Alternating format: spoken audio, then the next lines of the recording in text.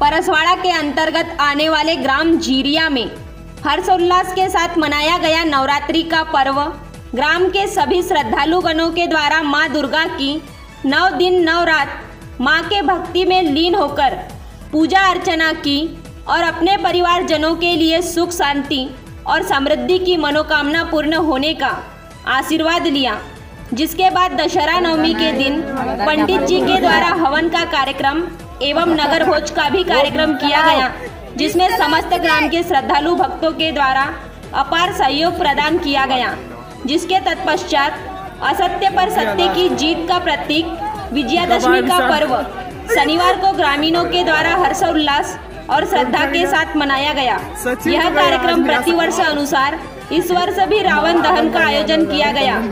शनिवार को दशहरा के अवसर पर ग्राम के दुर्गा उत्सव समिति द्वारा रावण का पुतला बनाया गया जिसका परंपरागत तरीके से रावण दहन किया गया। इससे पहले नगर में झांकी निकाली गई जिसमें भगवान राम लक्ष्मण और सीता हनुमान रथ पर विराजमान होकर निकले।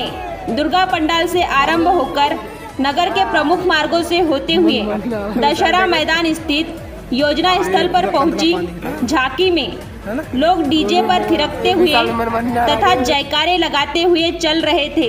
इस दौरान नागरिकों और समाज सेवियों द्वारा जगह जगह पुष्प वर्षा कर राम झांकी का जोरदार स्वागत किया गया। आयोजन स्थल पर राम लक्ष्मण और माता सीता बने कलाकारों की आरती उतारकर एवं पुष्प मालाएँ पहनाकर उनका स्वागत किया गया। राम रावण युद्ध का मंच किया गया। इसके पश्चात राम ने अग्निबाण चलाकर रावण के पुतले का दहन किया।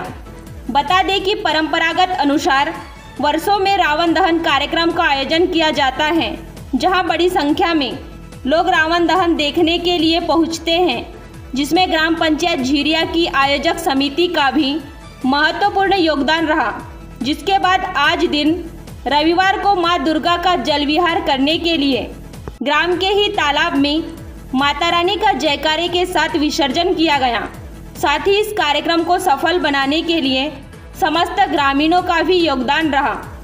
एम पी न्यूज़ एक्सप्रेस के लिए बालाघाट परसवाड़ा से उमेश बिसेन की रिपोर्ट